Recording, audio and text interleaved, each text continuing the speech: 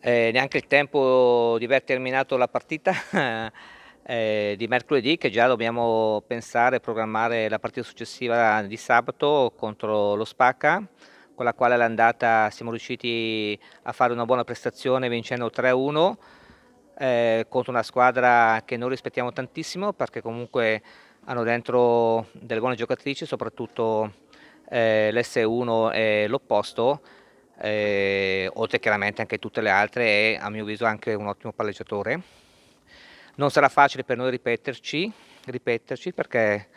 comunque in casa ci è andato anche, siamo stati brave, però a mio avviso anche la squadra avversaria ha subito un po' a livello eh, mentale e psicologico un po' la nostra aggressività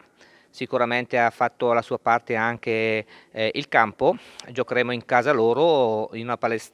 una palestra ancora più piccola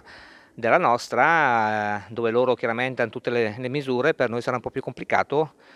eh, nulla toglie eh, e assolutamente questa non deve essere una giustificante ma anzi una motivazione in più per vedere se poi effettivamente quello che abbiamo dimostrato l'andata eh, siamo in grado di confermarlo di riconfermarlo superando questa squadra di tutto rispetto.